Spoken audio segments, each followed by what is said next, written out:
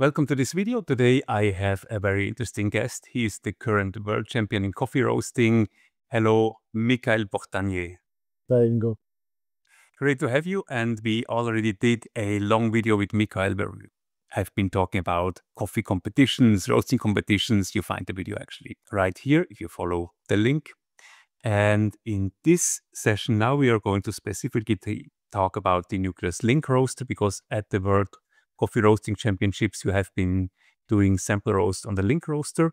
And we have a lot of people in the community that are working with these machines. So I would be happy if you can share some um, insights and information and learnings that you had with the Link roaster.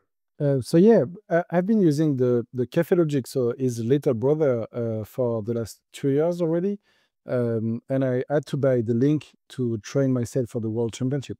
So as Sam Cora says, um, Kaffelogic is the Mercedes uh, car, and Link is the AMG car, so the sport version of the Kaffelogic. It has uh, a lot of um, um, uh, profiles, uh, roast profile uh, built in already, which are uh, super well made. Uh, some for cupping, some for filter coffee, some for espresso. But basically, what we had to um, to to train on for the world stage of the roasting competition was more about cupping because uh, at the end of the day, um, coffee is assessed by the judge only with the with the cupping and and in front of your roasting plant. Yeah. So you were then working with the cup cupping profile, or how did you came up with the profile that you were working with? So what we did is uh, we we I think we trained for three days in a row uh, only with the link, and we selected like a few different beans. So we had a, a large pacamara from El Salvador, we had a, a tiny bean from Ethiopia, uh, and we had to to find a good profile that was suitable for every kind of bean we were roasting, from large bean to small bean, from washed to natural or funky process uh, from high density, low density, whatever the, the settings were. Uh, we had to find the, the, the same profile for every single bean. So we could have uh, worked around this profile to be reprodu reproducing it uh, with the production roaster, which was the Stronghold S9X. Uh, that means we selected one bean, which was a classic bean from Brazil, and we did about like, uh, I don't know, 15 roasts of the same cupping A. Cupping A uh, with 1%, uh, like a 50 second um, after crack, 55 second, 1 minute, 1 minute 5, 1 minute 10, 1 minute 15, and so on until 2 minutes. And then uh, with those 20 roasts, we just kept them and measure all the ground color. And we found that uh, from 1 minute 15 to 1 minute 30, uh, roasts were good. So we did the same with cupping B, cupping C, cupping D, cupping E, cupping F. And um, every every roast was good from 1 minute 15 to 1 minute 30 of time after crack uh, which is funny because 1 minute 30 on the cupping B is like 20% development time ratio uh, that proves that you cannot uh, trust the development time ratio when you're roasting on other roasters. Like bigger roaster if you roast in, in about like two minutes and two minutes is uh, in 20 minutes sorry and two minutes is your development time or one minute 30 is your is your development time. You can feel that 10% is underdeveloped rather than 20% is over caramelized but at the end of the day they are the same roast. Um, so we selected cupping B with 1 minute 30 of time after crack which is about like also 6 or 7 degrees of delta uh, from first crack to the end temperature. Uh, which was suitable for most of the coffee we were we were training with. So from the washed Ethiopia to the large Pacamara natural, um, we had we had a good cupping experience, and at the end of the day, like uh, it was super easy to reproduce from the link roaster to the Stronghold roaster. I've been then cupping the coffee immediately after the sample roast. You told me in the video before that you had 45 minutes of sample roasting at the World competitions and then directly after that 30 minutes um, for cupping. Did you change the profile um, because of that? Because you didn't have time to let it rest, or did you use the same profile anyway? Uh, we had we use the same profile. So with the link, you can uh, cup straight after uh, your roast, and you are good to cup for two more days. I would say. Then it becomes a bit flat, and it has to be degassing a bit to become better and as good as the the the roast you made on the first day uh, after two weeks. Uh, and the idea is like link profile uh, takes about like seven minutes to roast and three minutes to cool down. So you can you can roast every 10 minutes basically. So during the 45 minutes, we could have roast for uh, we could have spent four times uh, in front of the roaster. And what I did is like I did one roast for the single origin, then one roast for the pre-blend, one roast again to change the development time for the single origin, and one more roast for the blend. So at the end, I had four roasts uh, with the with two for the single origin, two for the blend, uh, to be ready to cup straight after the the roasting sample. Yeah. So, but I mean, so you said that you pre-blended the blend, um, but on based on what information did you do then the blends that you put in the sample rows? Because somehow you had to came up with with this with the yeah, sure. So the the day the day before you have a green coffee evaluation. That means um, someone is giving you the bucket with the four coffees you will have, one single origin and three blends, and three for the blend. And uh, you have 30 minutes of uh, green coffee evaluation. That means you have a density meter, moisture meter, and you can also uh, look after the all the defects uh, that you have in green coffee. And based on this, um, we found that uh, green coffee from Brazil was very defective. Like out of 300 grams, I had like one black bean, one parchment, a few broken, and insect. So that means this coffee was uh, not the the the the more with the like, but not the best one, obviously. Then uh, humidity and density were actually good for this coffee. Then I measured the the Paraínema from uh, Honduras uh, wash process. Uh, moisture level was 8.3 percent, and density was good. But like with the the the the humidity this low in a blend, you cannot trust this coffee to be the main component basically, because if you if your blend is over caramelized this coffee will be showing like quite light and uh, underdeveloped. And if you are roasting quite light, this coffee will be peanutty and bring some woody notes to your to your roast uh, at the end. And the coffee from Kenya was super clean, super fresh, good moisture content, and good density.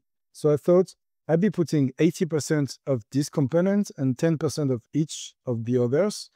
And at the end, you can uh, have more time to sort out of the Brazilian looking and Paraínema looking bean um, after the roast. That means you can almost give to the judges a 100% Kenya blend, basically. Okay, interesting. And then when you then had the information from the sample roasting and the cupping, how did you then translate this to the production roast? So what learnings did you, did you get out of it and how do you develop then the profile for the production roaster based on the sample roast? So based on uh, my experiences uh, from the uh, link poster probe to the infrared uh, stronghold probe, there are like uh, uh, correlations where yellow point temperature is the same and first crack temperature is almost the same too.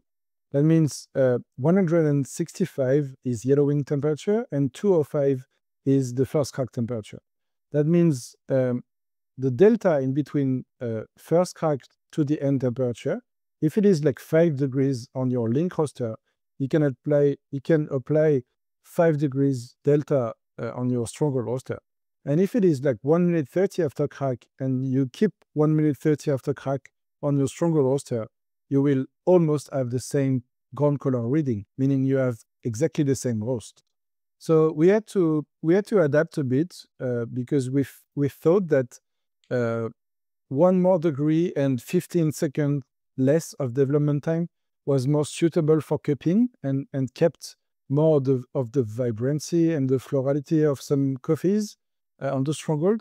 But uh, at the end of the day, they are pretty similar in terms of uh, of uh, development time and and and and ground color reading. Yeah. Okay, interesting. So you're actually then, um, and how do you do it then in your life or work as a production roaster? How do you use the sample roaster there? Is it like a similar way that you're using it by checking on the time and temperature increase, or how do you use? Um, yeah, I, I, uh, I'm using that. So no matter uh, how long you spend into drying phase, if you spend like five minutes or two minutes thirty, uh, because you've got a, a more efficient roaster, uh, you can keep the Maillard phase, so time in between yellow point and first crack, and the development phase in between first crack to the end uh, time, uh, almost the same. And if you have the same end temperature and the same uh, ground color reading, that means the two roasts would be tasting the same, basically. So if you if you keep the delta and the time in between each phase is the same, the the ground color reading would be almost the same, and and there there would be no difference in between uh, the two uh, tasting experiences. Oh, interesting. Thanks for sharing. And so one thing I probably have heard out of what you said is that uh, when people want to prepare for coffee competitions or championships, especially roasting championships, they really have to understand and know the um, hardware they're using it very well before because you actually have hardly any time at the competition itself. And as I understood you, you were really then aware of how the link is working, how the stronghold is working, and how these machines then are are fitting together. So, was this a learning or a recommendation that you would have for people that are participating? Yeah, because um, few key components on the roasting competition is uh, you don't have any idea of the green coffee you would have. You don't have uh, any idea of uh, who are the judges and who we, you will be, who you will be uh, roasting for. Basically, uh, they are pretty much different from your basic customer that you'll have on a on a daily basis at your roastery, and you will have to create the roast that is the best for each coffee and the best for uh, your prediction based on your roast plan. So that means uh, you you have to know like uh, at the at the like by heart each machine you will have uh, to use. Otherwise, you are completely lost. And and if you have to learn something in front of your production roster, that would be a, a big mistake already. Like if you don't have the capacity of uh, analyzing and and uh, just rebound on the problem you will have in front of you uh, during the production time, you're you're just losing uh, the championship. Yeah, yeah, okay. And um, maybe the last thing, because you said at the coffee championships you have been using then cupping B, you said, with 80% um, development time. How is it then when you're doing sample roast in your um, life or work as a production roaster on the on the link? Do you then also use the same cupping profile, or are you using there the system that the link actually has prepared? The, okay, so um, since that uh, since this experience with the with the link, uh, I thought that cupping B with one minute thirty after crack is like the best uh, roast profile I, I, I, could ever get from this machine. Uh, meaning that uh, if I have to use this machine again, because I switched to another machine now, uh, if I have to use this machine again, I will most of the time use uh, uh, the this cupping B with one minute 30 after crack uh, and six minutes of delta in between first crack to the end. And if I have to roast uh, lighter for filter coffee, uh, or if I have to roast darker for espresso, let's say, more caramelized roast, I would just have to shorten the development time or or make it longer to to be more suitable to to the ground color reading and targeting.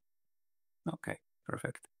Hey, thank you very much for sharing all that information, Mikaël. And um, so you're also giving roasting education and you have your own roastery. So if people are interested then in um, doing a workshop with you, an education with you, or follow you on your, your roastery, where can they find more information about you? So mainly on Instagram and also on the SCA website. Okay, perfect. So I will put the link down there. And now I have to say thank you very much. And again, congratulations to your World Championship title. And thank you for sharing so openly all the workflows and also the profiles that you have been working with. Merci beaucoup. Thank you and goodbye.